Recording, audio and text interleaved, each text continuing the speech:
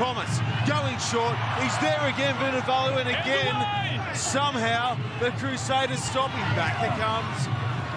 Dalgunu's in there. It's a mess, and they've got the try. Who's claiming? Too little too late for the Queensland Reds. Yes, they hit back in the second 40 minutes after they were blown away in the first 40. Brandon Paenga-Amosa from half a metre out gets across the try line. This puts a bit more respectability in the score line.